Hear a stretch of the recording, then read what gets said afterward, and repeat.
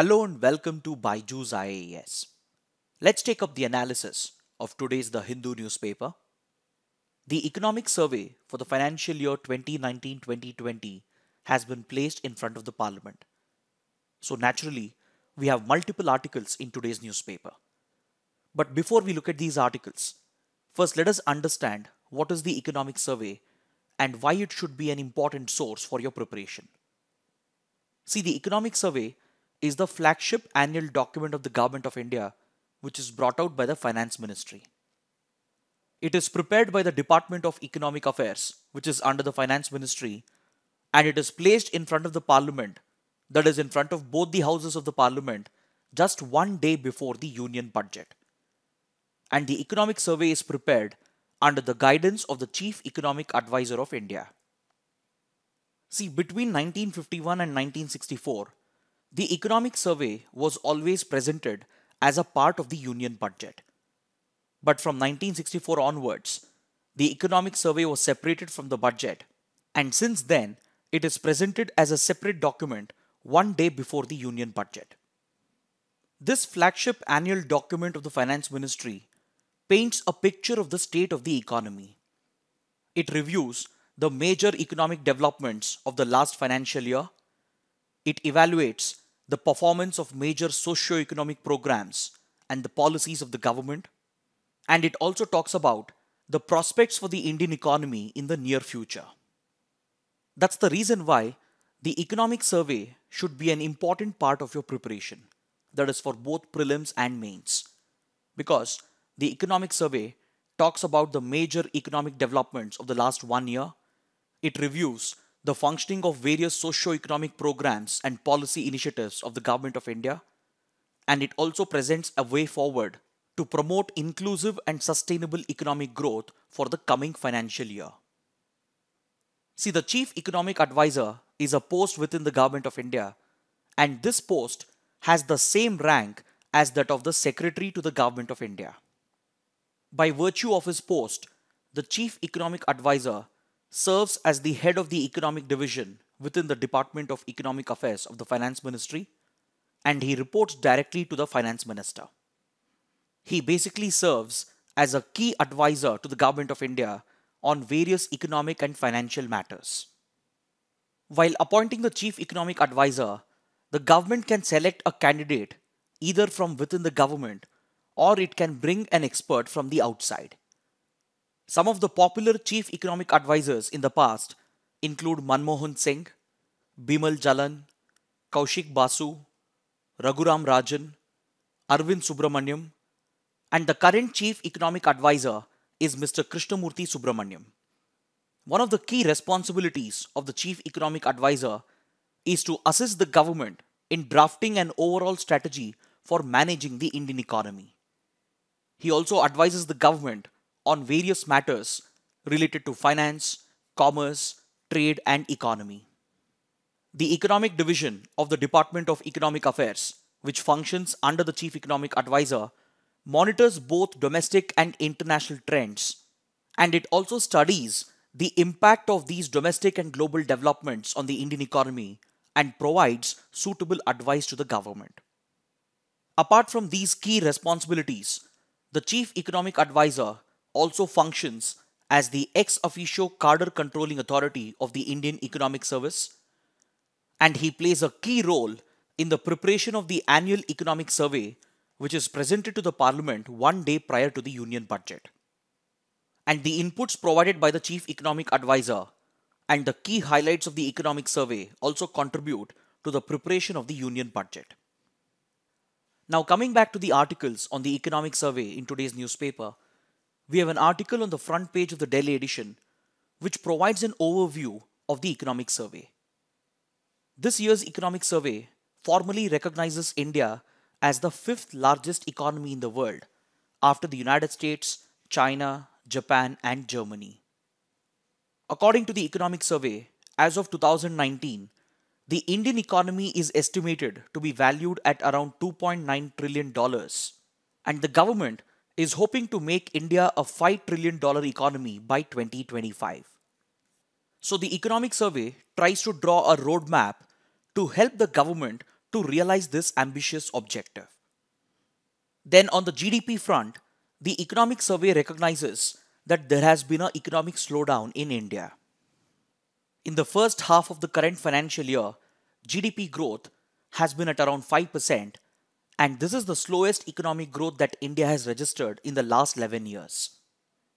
But the economic survey hopes that growth would pick up in the second half of the financial year, and it also expects the GDP growth to improve from the current 5% to around 6 to 6.5% by the next financial year. The economic survey makes this prediction by looking at some of the improvements in key indicators. The economic survey has pointed out that the index of industrial production has improved over the last couple of months. The PMI index or the purchasing managers index for the manufacturing sector has shown an improvement over the last couple of months. GST revenue collection has also improved slightly and Nifty India consumption index has also picked up. So by highlighting the improvements in these key indicators, the economic survey expects that GDP growth would improve to 5% in the current financial year and it expects it to further improve to around 6 to 6.5% by the next financial year. The economic survey blames the current slowdown in India's GDP on global factors and on the policies of the previous UPA government. The economic survey also indicates that the government is willing to increase its expenditure in order to revive growth in the economy, even at the cost of breaching its fiscal deficit targets. The economic survey also talks about the complexity of regulations in India and how it affects wealth creation and entrepreneurship. So, in order to unlock the wealth creation potential of the Indian industry, the economic survey places a lot of stress on simplifying the regulatory environment in India. It also recognizes the need to create more jobs in order to counter rising unemployment.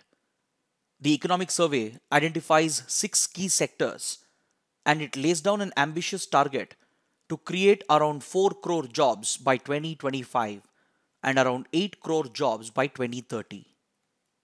Then, on the food inflation front, the economic survey says that the recent rise in food prices was an outcome of few supply side constraints. The economic survey expects these constraints to ease over the coming months, and hence it expects the current food inflation to be a temporary phase, and it does not expect this to be a mid-term or long-term feature. The economic survey even makes use of behavioral economics to justify that food inflation is well under control. It makes use of a veg thali as a barometer to measure food inflation, and it says that eating a thali has become more affordable over the years, especially for vegetarians. Economic experts are popularly calling this reference as thalinomics. Another interesting feature of this year's economic survey is that it provides for a synthesis of ancient India's achievements with current goals of the Indian economy. It carefully provides for a synthesis of contemporary economic evidence with ancient texts. The economic survey says that during the ancient and medieval times, India was a dominant economic powerhouse and one of the prominent wealth creators in the world for nearly three fourths of known economic history. It indicates that socialistic principles and socialistic instincts of post independent India has held back the Indian economy, and it is asking us to move away from these misplaced priorities and instincts in order to help India retain its past glory. In this context, the economic survey refers to ancient texts of 4th century Tamil poet Thiruvalluvar's Thirukkural and Kautilya's Arthashastra to highlight the significance of a market based economy which can unlock the spirit of the entrepreneurs, which can help in wealth creation. Now let's take up an article from page number 13, which refers to the controversy surrounding India's GDP calculation. And this year's economic survey tries to address this controversy. See, over the last few months, several economic experts have raised questions over the methodology that India has adopted for calculating its GDP. According to these experts, India's GDP calculation is inaccurate and unreliable. These doubts began to emerge when former Chief Economic Advisor Mr. Arvind Subramanian published a research paper for Harvard University. In this research paper, he claimed that India's GDP methodology was flawed, and as a result, India's GDP had been consistently overestimated between the period 2011 to 2017. During this period, the official GDP growth claimed by the government was 7%. But according to the research paper, if the inaccuracies and flaws in the GDP calculation methodology are accounted for, then India's GDP growth during this period was hardly around 4.5%. So these claims of Arvind Subramanian triggered a debate and it led the opposition parties to accuse the government of fudging the GDP data. Even the IMF started raising questions over the authenticity and accuracy of India's GDP calculation methodology.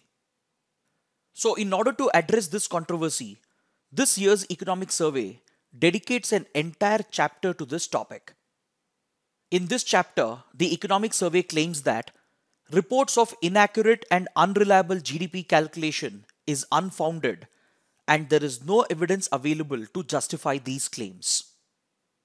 See, the economic survey recognizes that GDP numbers are a key indicator for any investor who's looking to invest in the Indian economy. So it is very essential for the government to provide accurate and reliable GDP numbers in order to boost investor confidence. And if the GDP methodology is being referred to as flawed, then it is bound to affect investor confidence. So the economic survey tries to address these concerns by claiming that the model developed by Arvind Subramanian is flawed because this model had wrongly estimated the GDP of several other countries as well, which were studied as a part of this research. The economic survey points out that around 95 countries were studied as a part of this research, and out of these 95 countries, the GDP of nearly 51 countries was wrongly estimated because of flaws in the model developed by Arvind Subramanian. The economic survey points out that even advanced economies such as UK, Germany, and Singapore have had their GDPs wrongly estimated by this model developed by Arvind Subramanian, and hence it rejects these claims by stating that they are unfounded and lack evidence. But however, the economic survey recognizes the shortcomings in India's statistical exercises and it highlights the need to make more investments in order to improve India's statistical infrastructure. In this regard, the role of the Standing Committee on Economic Statistics would be very crucial. See, recently, the Ministry of Statistics and Program Implementation has constituted a 28 member Standing Committee on Economic Statistics. This committee is headed by Pranab Sen, who happens to be India's first chief statistician. The recommendations of this committee will go a long way in improving India's statistical exercises, and the economic survey recognizes the need to implement these recommendations by making adequate investments. Now let's take up another article from page number 13. The economic survey has said that the Essential Commodities Act is outdated and hence it must be repealed. But before we look at this article, first let us understand what is the Essential Commodities Act? See, the Essential Commodities Act was enacted in 1955 to help the government to control prices and regulate the demand and supply of essential commodities. This legislation was brought in in order to protect the consumers from price volatility and prevent traders and sellers from resorting to holding and black marketing. See, commodities such as drugs, fertilizers, pulses, basic vegetables, edible oils, petroleum products, etc., are very essential for people to lead a normal day to day life. And any price volatility in these essential products will directly affect the well being of the consumer. Prices of such essential commodities can fluctuate because of supply shortage, and this could be either because of genuine supply side constraints or because of illegal practices such as holding or black marketing. So, in order to regulate the prices of such essential commodities, the Essential Commodities Act was brought in and it empowers the government to regulate the production, the supply and distribution of a number of essential commodities. It also allows the government to add new commodities to the list and remove them from the list as and when the situation improves. Under this legislation, the supply and prices of essential commodities can be regulated by the government by imposing stock limits on traders, sellers, and importers. They are basically not allowed to store essential commodities beyond the specified stock limits. So, whenever there is a significant shortage of an essential commodity, the government intervenes in the market and places a stock limit in order to regulate the prices. We recently saw this happening when there was a severe shortage of onions in the market. When the prices of onions started going above 150 rupees per kilogram, the government decided to make use of its extraordinary powers under the Essential Commodities Act and it started imposing stock limits on traders, sellers, and importers. So, on one hand, this legislation appears to be very essential in order to protect the interests of the consumer and prevent illegal practices such as hoarding and black marketing. But please remember that this legislation was introduced in 1955 when there was a severe shortage of essential items due to poorly developed markets, inadequate infrastructure, and frequent droughts, floods, and famines. So, the economic survey says that the conditions in India in 2020 are not exactly the same, and hence the legislation has become outdated according to the economic survey. Because, see, in any market based economy, the prices of a product should be regulated by the demand supply conditions in the market. When the government frequently intervenes to regulate supply and prices, it erodes innovation and investment in a market based economy. See, the government does need extraordinary powers to prevent hoarding and black marketing in order to protect the interests of the consumer. But according to the economic survey, the Essential Commodities Act is not the answer. Because the Essential Commodities Act does not distinguish between genuine stock holding and speculative holding. See, when you're dealing with essential commodities, especially food items, their production is subjected to seasonal changes and to natural calamities such as floods and droughts. So, if adequate supply has to be maintained even during such circumstances, you need to allow the traders and the sellers to build up a genuine stock. See, for example, if you look at the recent increase in the prices of onions, it was an outcome of supply shortage caused due to floods in the major onion producing states. Economic experts believe that onion traders were not prepared for this supply shock because the Essential Commodities Act does not allow them to build up a genuine stock holding and it does not promote the creation of storage infrastructure. Since the Essential Commodities Act does not distinguish between genuine stock holding and speculative holding, it discourages the traders from creating adequate storage infrastructure for building up a genuine stock, which could have helped in tiding over such temporary phases of crisis. So, the Essential Commodities Act not only discourages the private investors from investing in storage logistics, such as modern warehousing and cold storage facilities, but it also fails to effectively prevent price volatility in the market.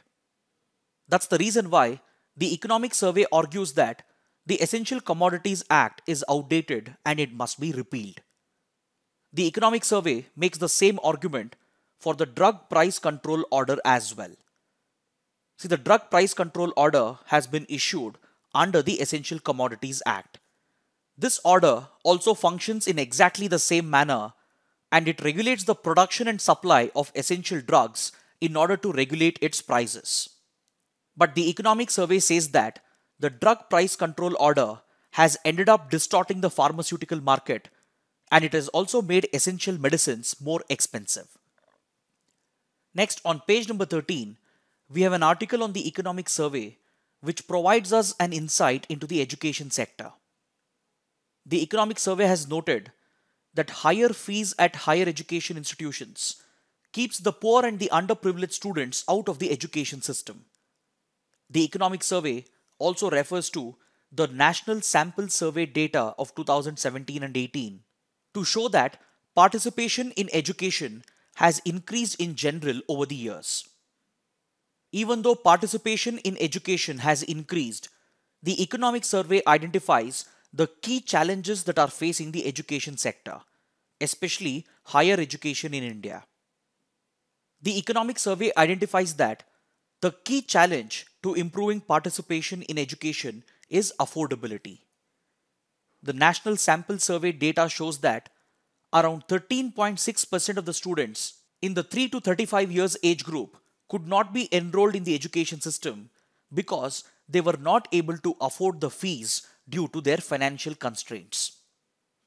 See, both in the rural areas and the urban areas, the highest proportion of spending is on fees, that is, academic fees. Apart from this, students also have to bear the cost of books, uniform, stationery, etc. The combined cost of this makes education unaffordable, especially for the poor and the marginal sections. And this fact has been clearly brought out by this year's economic survey.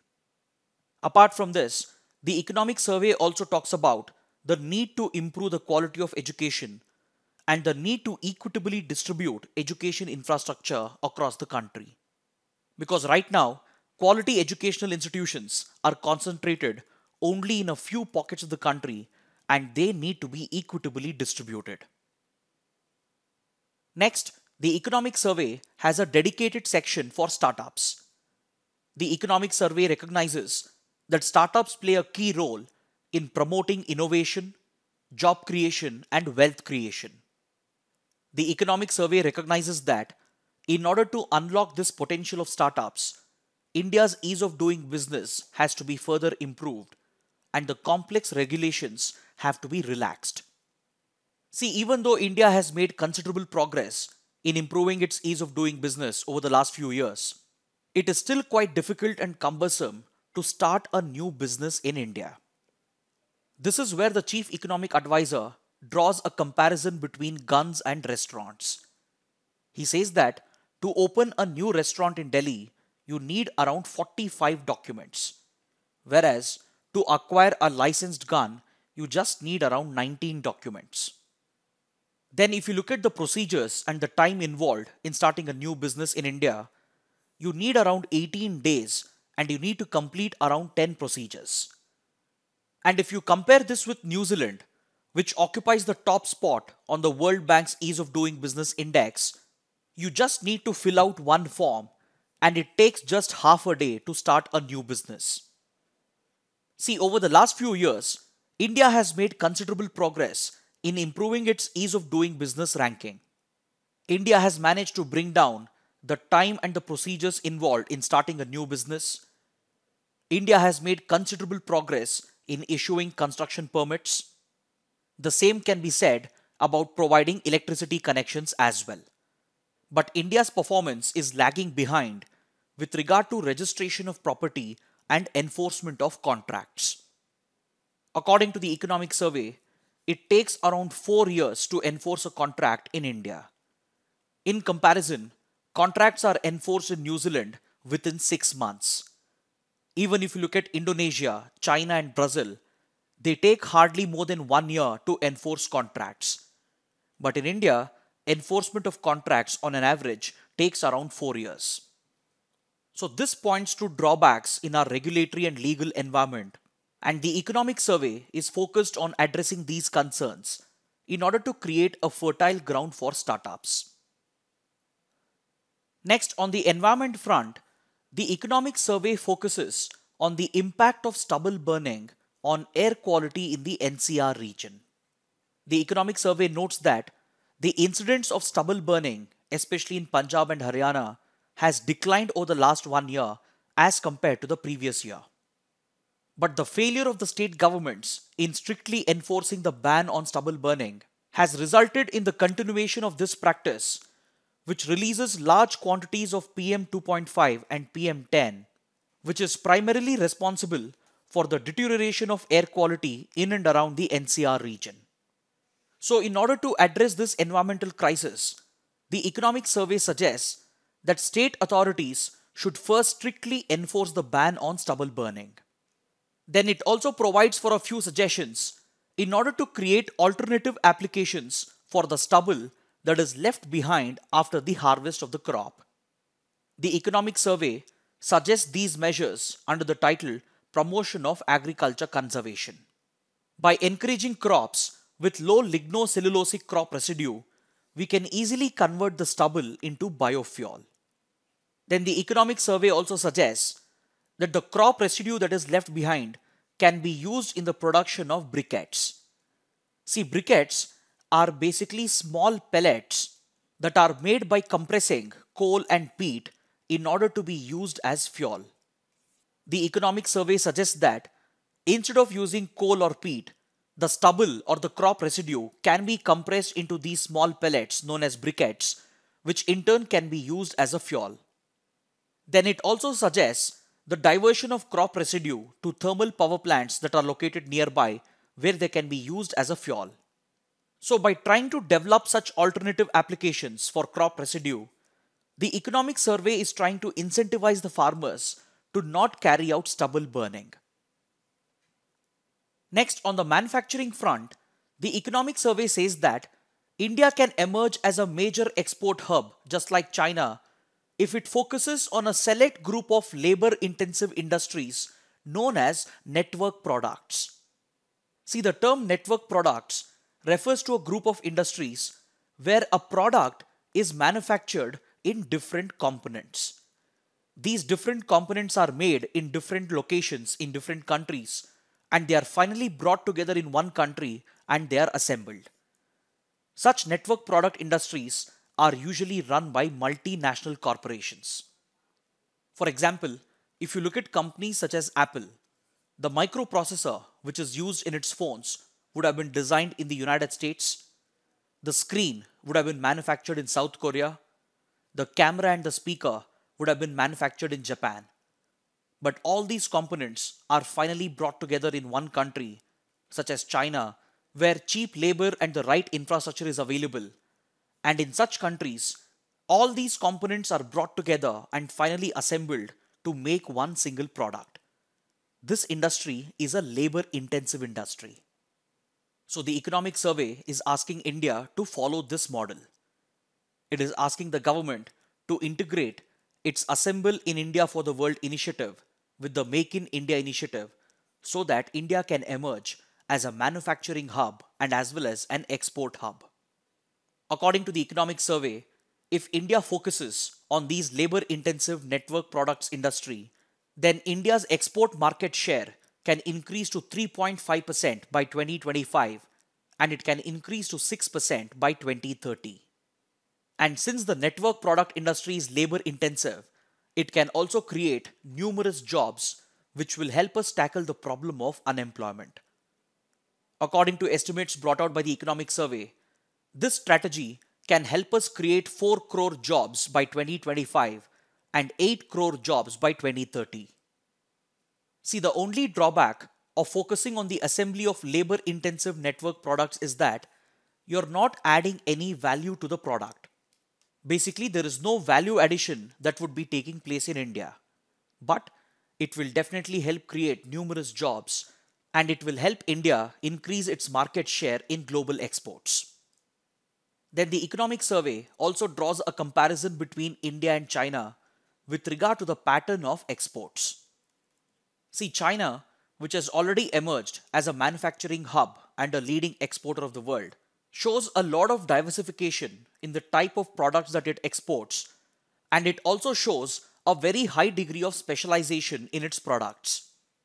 But if you look at India, India is showing some progress with regard to diversification. Of late, the variety of products being exported out of India has diversified drastically, and India is on its way to catch up with China. But when it comes to specialization and value addition, India is seen to be lagging behind China. This is where India needs to create a niche area for itself. For example, if you look at China, it has a number of niche areas. For example, electronics, automobiles, and consumer goods are some of the niche areas of China. So, India needs to focus on building such specialization into its exports as well. Now, let's take up an article from page number 12, which refers to a major restructuring in the Ministry of External Affairs. Newly appointed Foreign Secretary Harshvardhan Shringla has approved a major restructuring and reorganization of tasks within the Ministry of External Affairs after consulting with Foreign Minister S. Jaishankar, who himself has been the Foreign Secretary for four years between 2015 and 2018. As a part of this restructuring exercise, the tasks within the ministry that were carried out at the additional secretary level have been reorganized. They have been reorganized on the themes of culture, trade and development, etc. While carrying out this reorganization, special attention has been given to the 8 million diaspora who reside and work in the West Asia North Africa region, and special attention has also been given to the External Publicity Division of the Ministry of External Affairs. These changes have been brought in in order to promote strategic and long term thinking within the ministry and to streamline the functioning of various divisions. See, currently, officers at the secretary level are overburdened with their day to day work and hence they do not have sufficient time for strategic thinking. So, these changes that have been approved are expected to give more time at the level of additional secretaries so that they can focus on strategic and long term thinking. Now, let's take up the practice questions. Which of the following statements are correct? The President's special address to the Parliament has been provided under Article 87 of the Constitution. In the case of the first session after each general election, the President addresses only the newly elected Lok Sabha and later the members subscribe to the oath or affirmation and the Speaker is elected. In the case of the first session of each year, the President addresses both houses of the Parliament. The President's speech essentially highlights the government's policy priorities and plans for the upcoming year. Amongst the given statements, the second statement is incorrect. See, under Article 87, the special address of the President has been provided. There are two occasions on which the President delivers a special address to the Parliament. One is during the first session after each general election. During this address, the President addresses both the houses of the Parliament and not just the newly elected Lok Sabha. So this makes the second statement incorrect. The second instance where the President delivers a special address to the Parliament is at the first session of each year. That is before the start of the budget session and during this special address, the President addresses both the houses of the Parliament again. And this special address of the President always highlights the policy priorities of the government and the plans of the government for the upcoming year. So the correct answer is option C, 1, 3, 4 only. This question has been asked because we have a related article on page number 1 which refers to the address of the president that was delivered to both the houses of the parliament before the start of the budget session. Now let us take up the second practice question. Which of the following statements are correct? Crop dusting refers to aerial spraying of insecticides or pesticides on crops. The Insecticide Act of 1968 has banned aerial spraying due to its ecological impact. As per the provisions of Insecticides Act, aerial application of pesticides needs approval from the Central Insecticides Board. All the three statements are correct. Option D is the right answer. This question has been asked because we have a related article on page number 8. This article refers to the illegal usage of drones or unmanned aerial vehicles in carrying out crop dusting.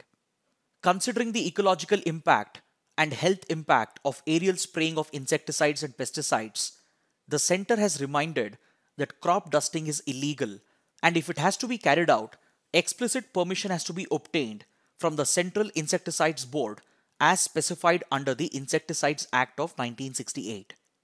Now let us take up the third practice question. Which of the following statements are correct? Kautilya's Arthashastra discusses a mixed economic model where private enterprise and state enterprise frequently competed side by side. Private economic activities were regulated via royal statutes and officials, and some economic activity was the monopoly of the state. Arthashastra states that protecting the consumer must be an important priority for the officials of the kingdom. All the three statements are correct, so option C is the right answer. So as you can see, Kautilya's Arthashastra was way ahead of its times, and that's the reason why this popular treatise is still studied and referred to this day with regard to public administration, governance, war, espionage, taxation, etc. Now let us take up a map based question. Which of the following statements are correct? Someshwara Wildlife Sanctuary is located in the western Ghats of Karnataka. It is located in a semi arid region with dry deciduous and thorny forests. The first statement is correct, the second statement is incorrect. So option A is the right answer. Please look at this map. This is where the Someshwara Wildlife Sanctuary is located.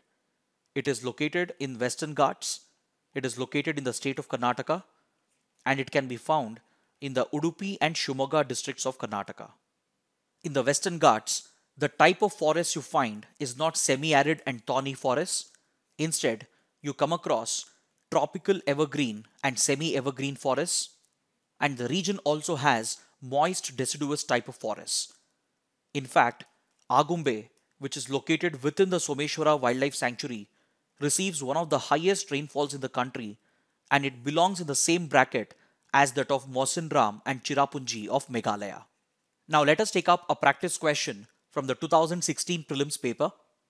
With reference to the Trans-Pacific Partnership, consider the following statements.